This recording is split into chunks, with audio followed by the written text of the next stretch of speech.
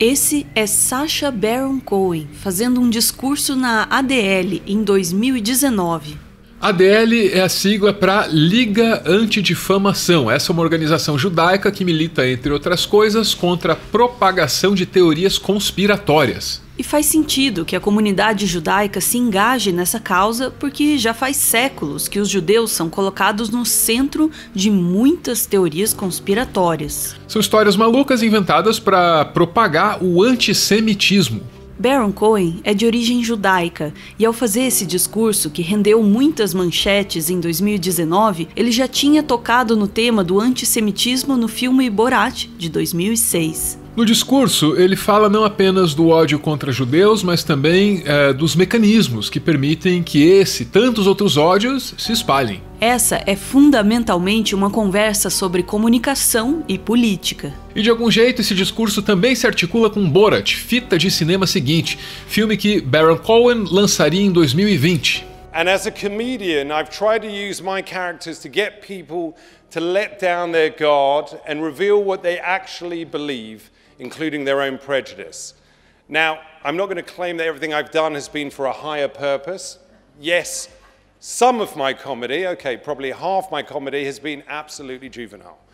Uh, and the other half completely puerile. But I admit there was nothing particularly enlightening about me as Borat from Kazakhstan, the first fake news journalist uh, running through a conference of mortgage brokers while I was completely naked. But when Borat was able to get an entire bar in Arizona to sing, Throw the jewel down the well, it did reveal people's indifference to anti Semitism.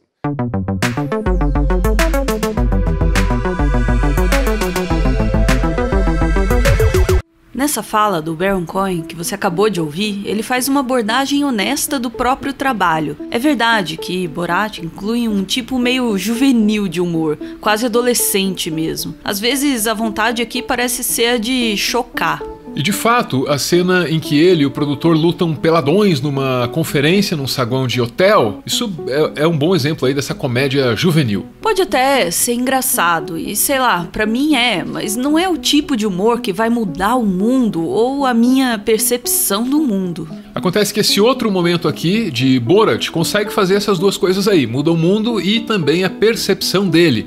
Aqui o Baron Cohen aparece num rodeio exaltando o então presidente dos Estados Unidos.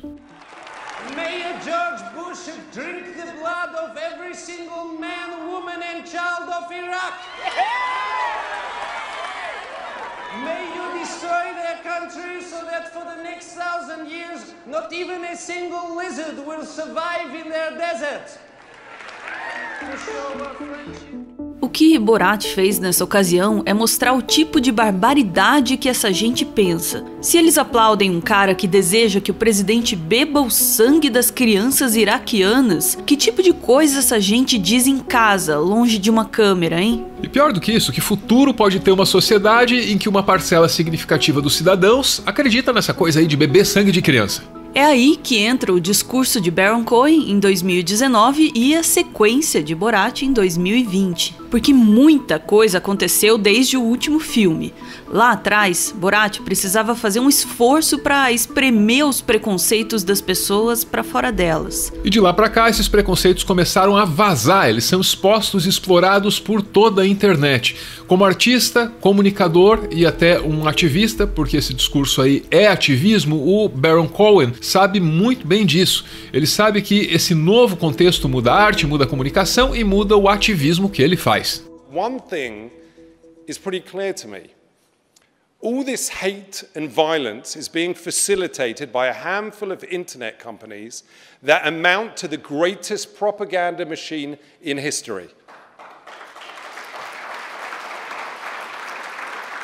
The greatest propaganda machine in history. Let's think about it. Facebook, YouTube, and Google, Twitter, and others, they reach billions of people. The algorithms these platforms depend on deliberately amplify the type of content that keeps users engaged, stories that appeal to our baser instincts and that trigger outrage and fear.